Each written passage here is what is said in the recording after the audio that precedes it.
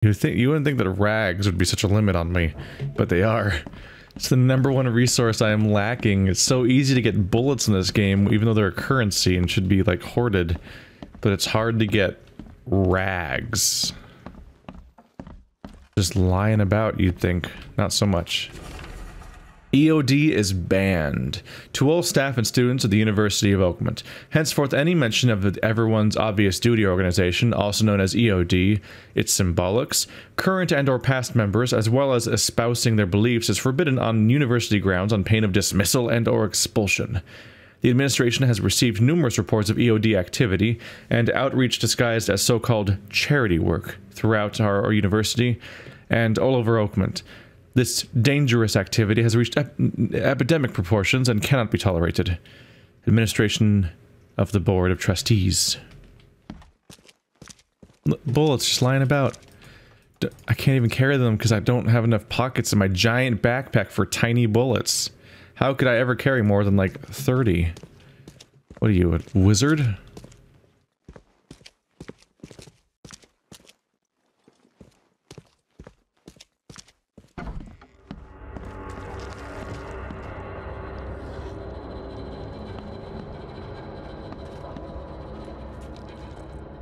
Oh no. That's not alive, is it?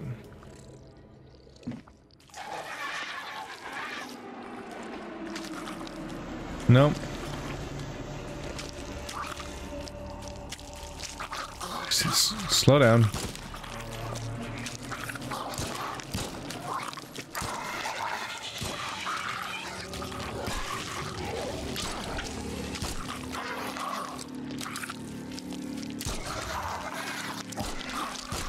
Did he glitch out? That was weird. That... I definitely missed that shot. As much... I thought I was hitting the first guy, but I could be wrong. But the second guy, I'm pretty sure I just straight up missed and I got him anyway. Oh, I have two knowledge points. When did those happen? Make my resource gathering as cheap as possible.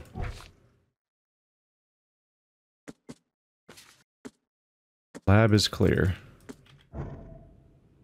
I really want an inventory hotkey. It's one of the primary menus I'm trying to open all the time for crafting purposes, but you have to open the map or the other screen and then scroll over to it. I checked the controls earlier and there's only like two menu hotkeys and neither of them are the crafting one. Experiment log, part 1. March 2nd.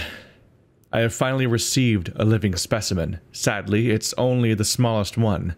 The grunts call it Mr. Handsome. Ha. but I think it needs a proper name. March 3rd. Was thinking about the name for the specimen all night.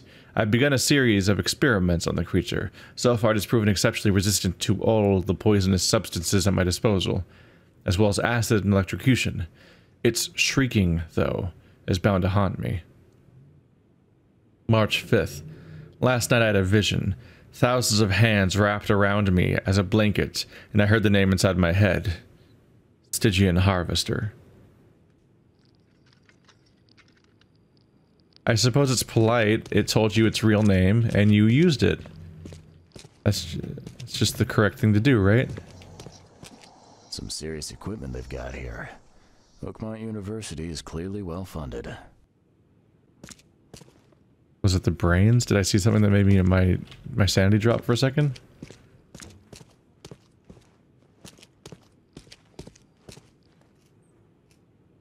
Yeah, there's the big boy.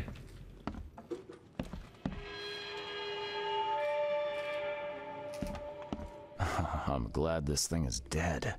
Why do they even keep it here? Doesn't have to. Oh. I, is that the doctor I'm here to meet? Is he gonna shoot me?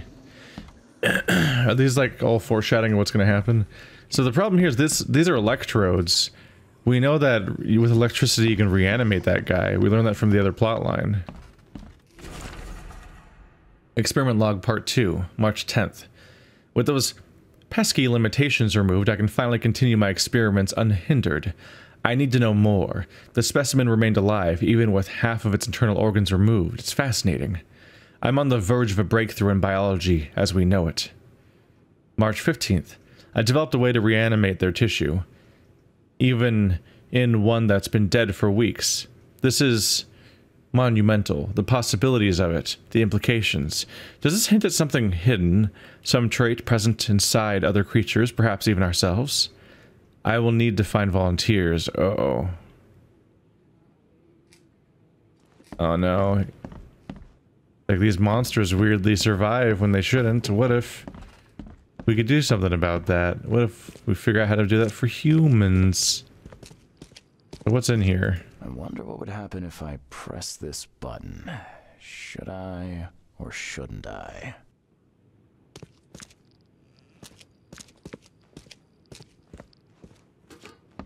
Hmm. That button goes to these electrodes.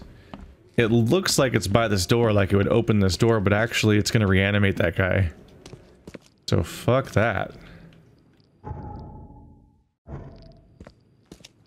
I don't think I need to care about the icon right now. It says that I'm not done yet, but I don't think that's relevant.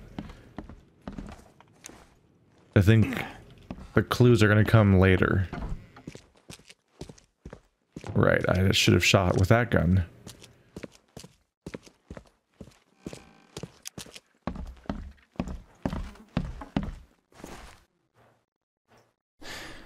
Your lab is certified creature free. Excellent, Mr. Reed. You've done us a great favor. Now we can get things up and running again. Your lab was, uh, interesting. Running experiments on those creatures. What's up with that? Oh, they're fascinating, aren't they? Convincing evidence of new branches in the evolutionary tree. Can you blame us for taking an interest? Maybe not, but so much dead flesh down there, that's going to attract scavengers. Didn't you think about that? Uh, hmm. Yeah, well, no. well, be more careful in the future. Your point's taken. Okay.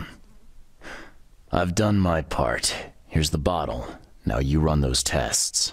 Uh, yes. Wait here. It shouldn't take long. We finished that analysis, sir. It's, well, it's ricin. Ricin? A highly toxic poison extracted from castor beans. It's slow acting, but absolutely fatal to humans. How can you tell if someone's been poisoned with ricin? The symptoms take several days to develop. At first, it's like a common cold. But over several days, well, it develops into hemorrhage, internal organ failure, and death. It's not a pleasant way to die. So, where do you get ricin? This isn't something you can pick up from a drugstore. Ah, uh, about that. It is rare, but we have a certain amount of it here. For study, in our poison store. Or we did. I'm afraid that must be where it came from. The label had been tampered with, but it certainly looks like ours. Where did you find it? Ah, crime scene. Someone was trying to poison a bunch of fish with it. This is horrible. I need to warn everyone in the university about this.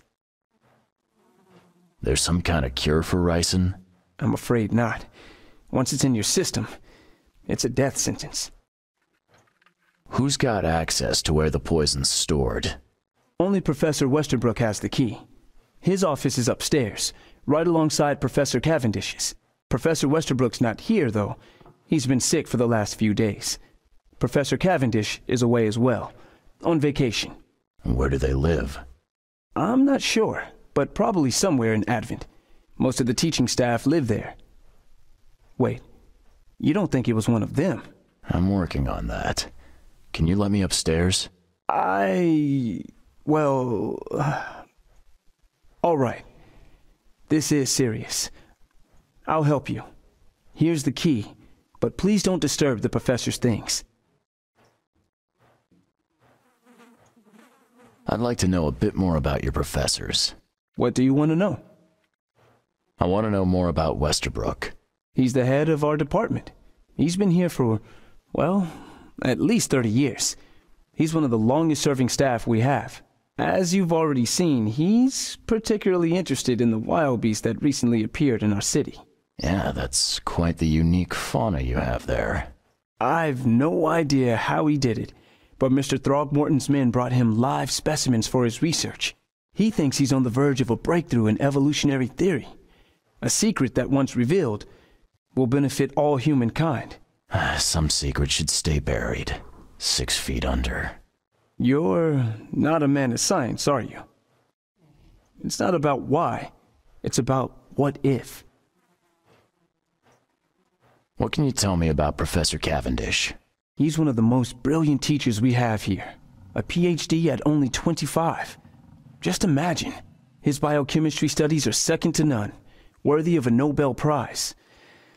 If he could complete his work. What's his problem? I don't know. There's some kind of family trouble. It's made him standoffish and irritable, and easily distracted. I hope he gets through whatever he's going through. We need his talent, especially in these dark times.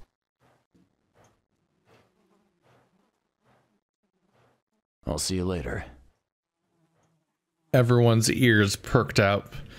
That watched everyone who watched Breaking Bad's ears perked up the moment ricin was was name dropped. Like, hang on a minute. Mr. Throgmorton. I'd recognize that face anywhere. No reason.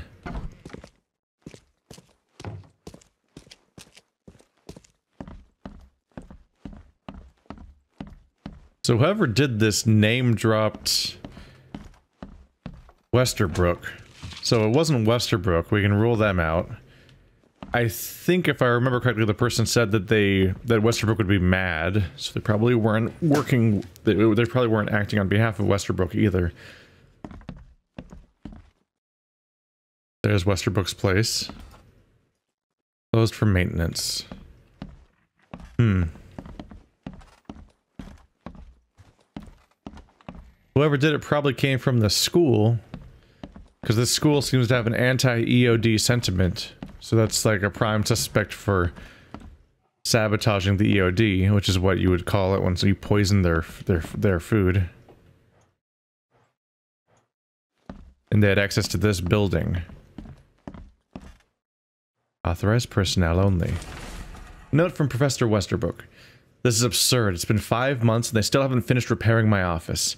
I'm done sitting in the corridor like some kind of waiter. I don't step... I won't step foot into this building again until the works are finished. Or you can give me Cavendish's office. You tell that to the board. I'm through with this farce, Westerbrook. It's also a little worrying that Westerbrook has been sick the last few days. Because the last... A seemingly innocuous sickness matches up with the ricin. The windows are smashed. They probably smashed the window to Cavendish's office and then broke in. You smash that window and then you can reach in and, and unlock that door. I don't know why they're both broken though. That's a little weird. Yeah, you smash that window, reach in. Oh, they smashed it strangely. Actually, all the glass around the doorway is broken, not just in the spot that would matter. Maybe it's an unrelated issue then.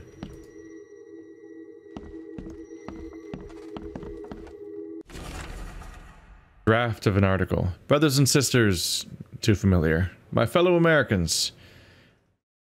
They are Americans too. Citizens of Oakmont. How much longer will we put, up with those fish-faced bat... Those sea freak... How much longer will we put up with this? Those K-forsaken degenerates who call themselves the EOD. Okay. It kind of sounds like that Cavendish might have just been the one who outright tried to murder the EODs.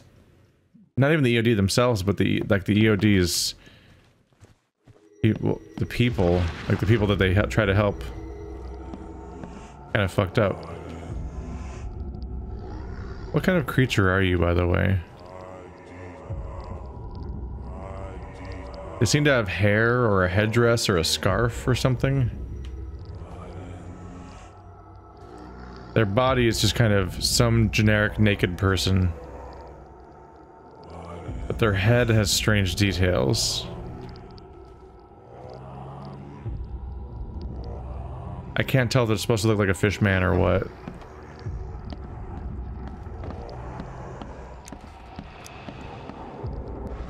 Don't touch the professor's things. Whoops. Whoops. These bottles look exactly the same as the one with the poison. They also say ricin on them, as it turns out.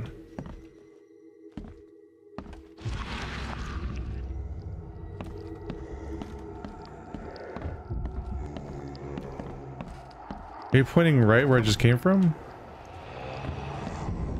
Oh. Oh.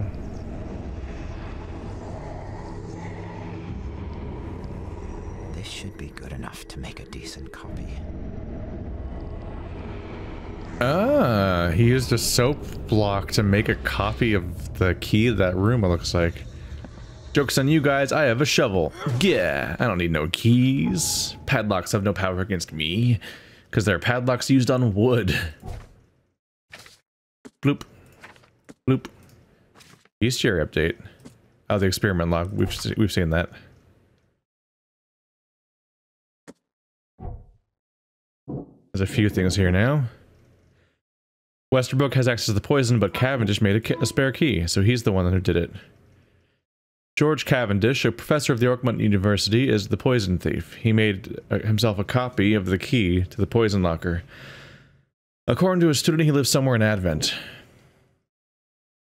So Cavendish is the one who did it, and he might have poisoned Oak, uh, Westerbrook, apparently. The car is afraid of Anna, and there's a secret chamber. A murder chamber? No. Are any of these relatable at all? Because I don't think they are. Yeah. According to a student, he lives somewhere in Advent. That is not enough to work with. All key evidence, so there's still something to find here. Maybe we can find his address in here, in his office. Or maybe I need to go to the other place, the town hall. Either way, there's something I can find here. But that thing might just be waking up that monster. But I don't want to wake up the monster. But what if it gives me a vital piece of evidence I need for the story? I'm not leaving till I find everything. So if I don't find everything, I guess I'll have to do that. These bottles look exactly the same as the one with the poison. Fancy that. It might be the last clue is just something I can ask that guy. Could just investigate.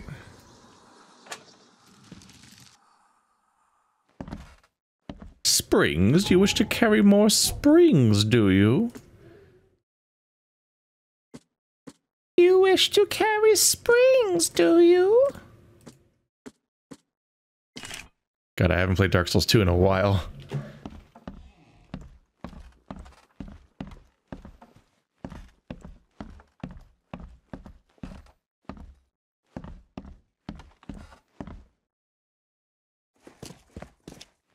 The EOD icon seems to be a normal looking eye, but with a bit of a tail on one side to look kind of like a fish.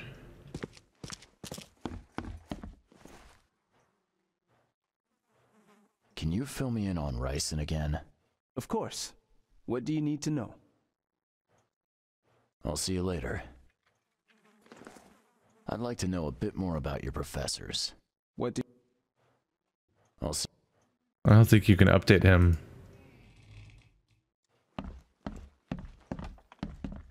Yeah, I don't think I don't think you can have follow-up conversation with that guy using any of the information that I've gained. Not doing great on grenades. Alright, well, let's find out the hard way. I'm missing one piece of information.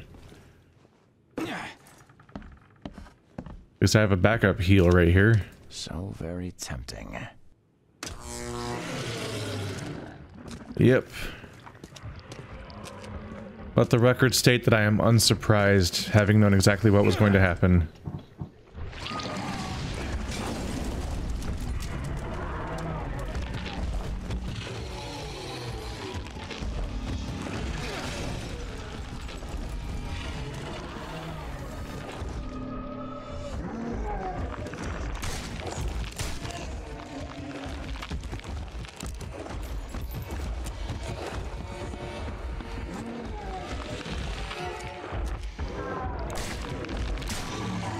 There we go.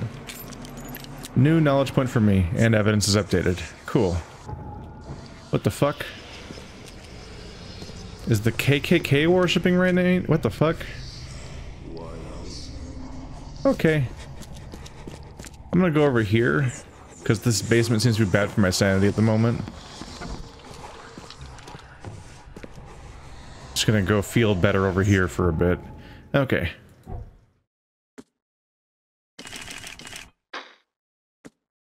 What?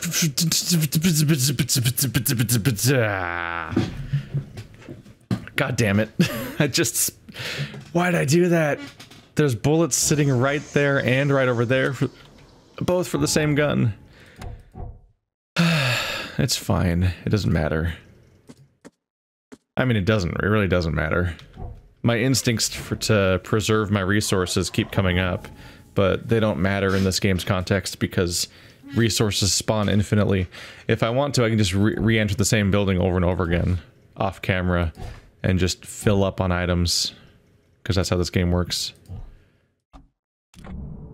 When I talk about the game lacking layered on systems in its open world to make its open world meaningful and every moment more engaging, that's one example of it to an extent, is the fact that, like, you don't actually have to care about your resources it's like you look at this inventory with the crafting and everything, and you you might have the reaction of like thinking of like Resident Evil or The Last of Us with like its survival horror mechanics and limited resources and having to make tough choices on the fly. But they applied that to a giant open world nonlinear game, which means it's completely pointless. And it would be pointless even in it would generally be pointless in an open world game because you could just go scavenge for whatever you want by just exploring more of the open world anyway. Which is something that's curbed by Pathologic, because Pathologic does the survival horror elements in open world, but everything takes place under a time limit, which means that you do still have another resource to bargain against. That time limit single-handedly the, both the time limit of your of your dwindling hunger and stuff like that and the actual time limit of the game progressing through the two weeks that the game takes place in those two mechanics combine to counteract the freedom of the open world by not letting you actually explore it all fully and thoroughly and so on. But this game doesn't even benefit from that kind of thing because in addition to the other stuff, this game, uh, it just regenerates the same resources if you just go back into the same building a minute later, basically. Which means that, like, nothing matters. You can just trick it into get generating your generating you full amounts of all the resources. Some serious equipment they've got here. Oakmont University is clearly well funded. Still missing something.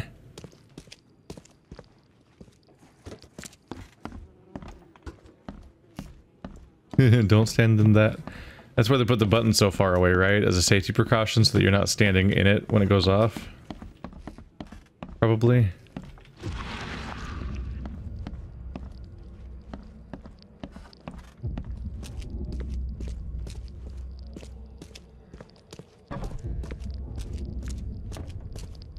We've already been through this, but yeah.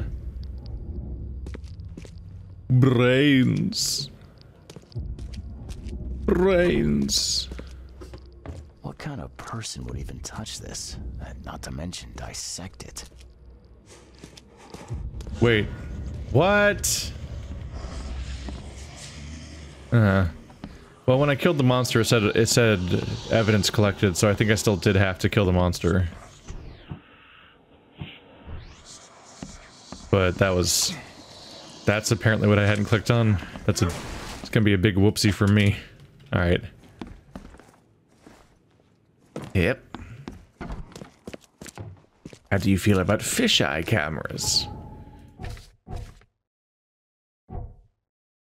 Not there yet.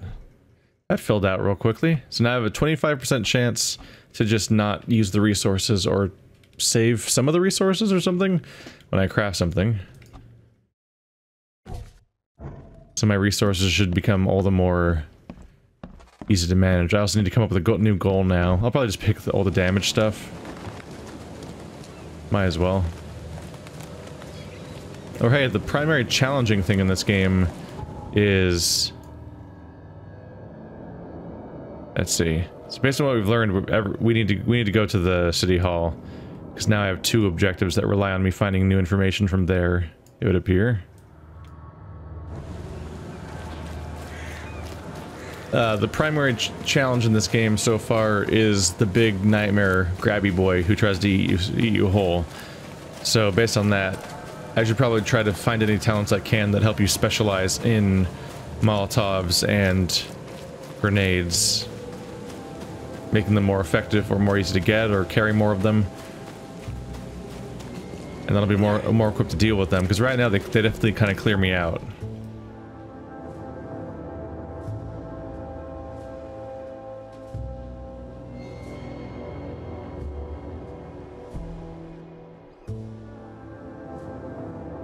Quid pro quo.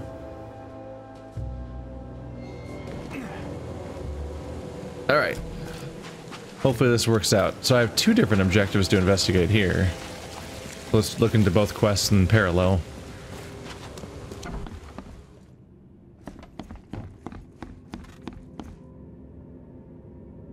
Nope. Nope. The poison thief. Uh, citizens? Citizen records, I guess? Advent. George Walter Cavendish. Born January 26th, 1883. Place of birth, Oakmont, Massachusetts. And residence. Advent Central, St. Michael's Road between Carpenter Street and Constitution Street, Flat 2. Professor of Biology, Department of Medicine, Oakland University, divorced.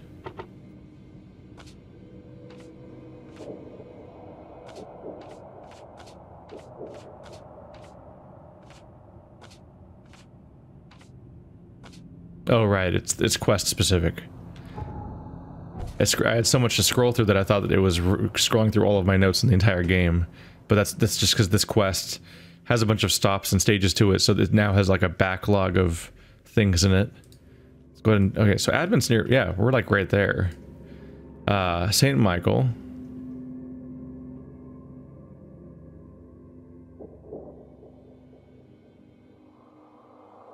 St. Michael. Should say Advent, right? Yeah, Advent Central. Between Carpenter and Constitution. Car Carpenter. Carpenter. It must cross with oh, Saint. There's Saint Michael. Whoops. I just I was missing that somehow. And Constitution. Okay, gotcha. A little hard to read sideways, I suppose. Now let's look into this.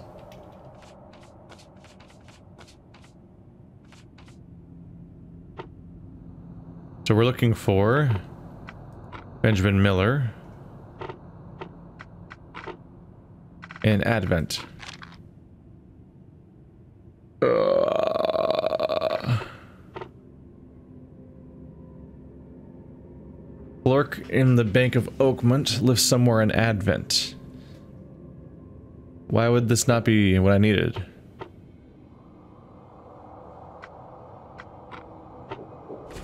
Occupation, okay.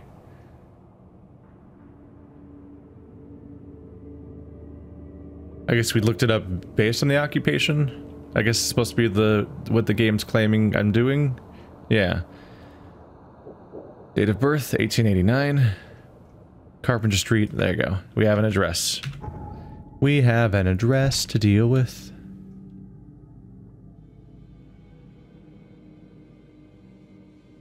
That was the wrong detail. There we go. Carpenter Street. Carpenter Street. There we are. Oh, that's a bad street. Maybe he's over here. Uh, between Benevolent Tides Road and Hawthorne. Benevolent Tides Road and Haw- Oh. He lives over there. That's not a good place to live in. You did not luck out, buddy. Alright, sure. Let's go ahead and wrap that one up while I'm here. There we go. Extra, extra. Extra, extra, read all about it. What's your problem? Recent plot point happened publicly. Find something you like.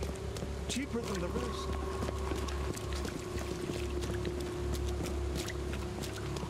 Extra, extra. All the new.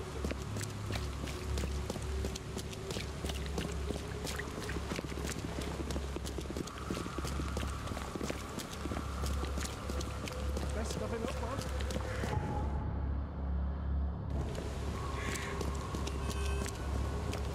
Should be right through here.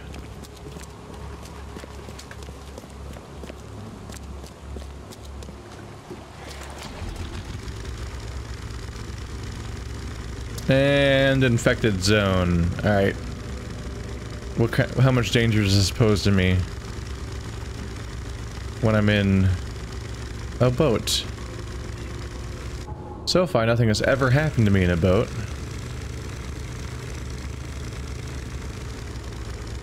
But there's always been the threat, just because I'm in the the water, and that's not a good feeling.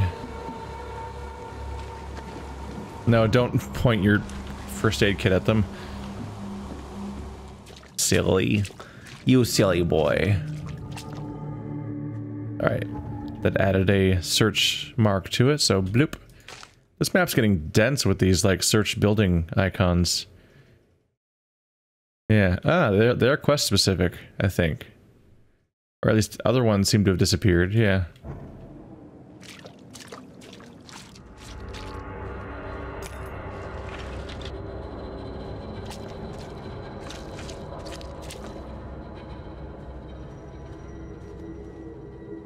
Hello there. Oh, what's that gonna do? I feel like I should be concerned. Oh, it's an egg. I mean, a key. An egg. I don't know why I said egg. I have no idea. Called the Bondulance. I'm having a strunk.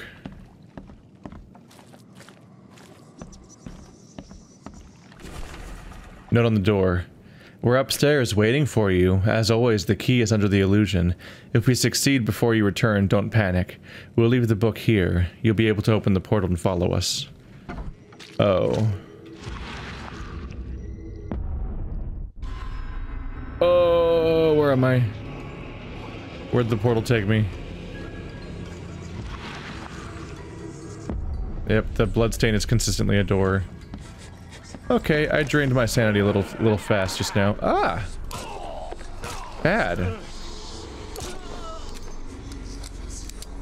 Sorry for all the murder. My bad.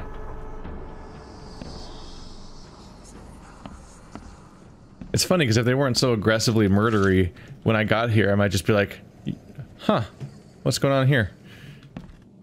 But because they insist on attacking me, then it just becomes, well, hundreds dead. Human enemies are definitely the least interesting option. I kind of welcome the diversity at times, but you just shoot them in the head and they just stand still. It's very easy to kill humans with guns, as it turns out.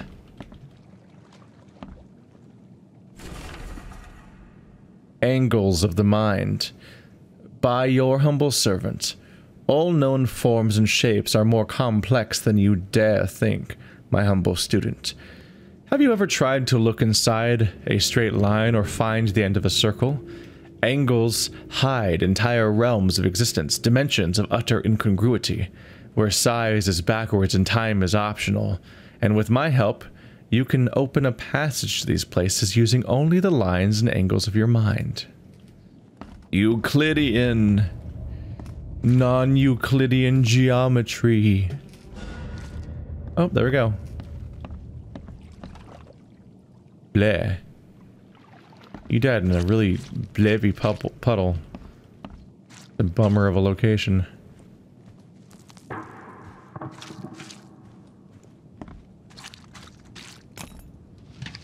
What do we full on? Springs and parts. Might be able to do something with that. Not sure if I can. I might have already crafted everything. I need rags. Please. Yeah. We're getting we're getting really one-sided with my current uh thresh uh my current limiting resources. I'm about ready to have like everything maxed out and then just have no rags. Alright, well, we got the book. Turns out all these books should probably be in like a forbidden section of the library. Like in Game of Thrones and Harry Potter.